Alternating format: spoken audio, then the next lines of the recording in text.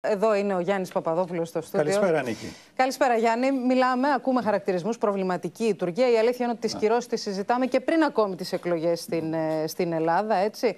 Και εξακολουθούμε από σύνοδο σε σύνοδο να περιμένουμε ένα κατάλογο μέτρων από τους Ευρωπαίους. Και ο βασικός ε, υπόλογος είναι η Γερμανία. Και η Γερμανία, πολύ φοβάμαι, ότι είναι πλέον φανερό πως αδυνατεί να παίξει τον ηγετικό της ρόλο. Δεν θέλει, δεν μπορεί; Δεν μπορεί γιατί δεν θέλει; Η ουσία είναι ότι με όσα γίνονται η Ευρωπαϊκή Ένωση υπονομεύει την αξιοπιστία της για να το πω κομψά, για να μην πω ότι αυτογελιοποιείται. Πώς αλλιώς να χαρακτηρίσει κανείς το γεγονός ότι περιμένουμε τρεις ολόκληρους μήνες από τον Αύγουστο που ο κύριος Μπορέλ ανακοίνωσε προφορικά τον κατάλογο και είπε ότι μένει να περάσουν στο χαρτί. Ναι. Έχουν παρέλθει λοιπόν τρεις μήνες, είναι η τρίτη σύνοδος κορυφής και ακόμα συζητάμε για το πώς θα γραφτούν στο χαρτί αυτά τα οποία ανακοινώθηκαν προφορικά. Και αν μου επιτρέψει με μια κοινική παραδοχή ότι δεν μας βολεύει γιατί η Τουρκία κάνει τη βρώμικη δουλειά με το προσφυγικό. Να σου πω εγώ τι συμβαίνει, Νίκη μου. Εδώ και ένα μικρό παιδί θα έχει αρχίσει να έχει υπόνοιες ότι το διπλωματικό παιχνίδι εν ώψη της Συνόδου Κορυφής είναι στημένο. Και είναι στημένο με μια σιωπηρή συμφωνία μεταξύ της κυρίας Μέρκελ και του κυρίου Ερντογάν.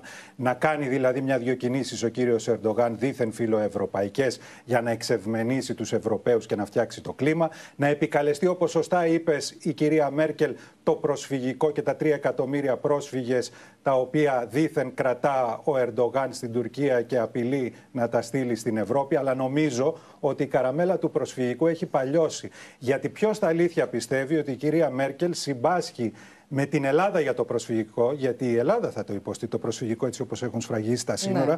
και ότι δεν είναι το ενδιαφέρον της για τις 7.400 γερμανικές επιχειρήσεις οι οποίες δραστηριοποιούνται στην Τουρκία. Δεν είναι για τα 10 δις με τα οποία είναι ανοιχτές οι γερμανικές τράπεζες με δάνεια προς την Τουρκία. Δεν είναι το ενδιαφέρον της για τα 4 εκατομμύρια Τούρκους οι οποίοι έχουν πολιτογραφηθεί και ψηφίζουν στη Γερμανία αυτοί και οι οικογένειές τους και μάλιστα προέρχονται από το κόμμα του κύριου Ερντογάν από ό,τι λένε οι μετρήσεις, η πλειονότητα εξ αυτών. Δεσμοί πολύ στενοί λοιπόν. Επίσης, για να είμαστε δίκαιοι, να πούμε ότι και άλλοι έχουν συμφέροντα. Μιας και ανέφερα τις τράπεζες, ε, δεν θα πρέπει να παραλείψουμε, να λάβουμε υπόψη μας ότι οι Ισπανοί είναι εκτεθειμένοι με 50 δισεκατομμύρια, οι Ιταλοί με 20 δισεκατομμύρια. Γι' αυτό και καταλήγουμε στην παροδία. Να συγκεντρώνονται 27 ηγέτες της Ευρώπης, να κάνουν διακηρύξεις φραστικές και μετά να αρχίζουν τα τηλέφωνα να συνομιλούν με τον Ερντογάν προωθώντας τα δικά του συμφέροντα.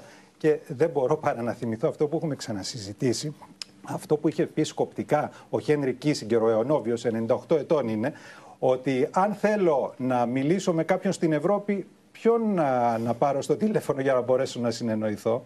Σε ευχαριστούμε πολύ, Γιάννη.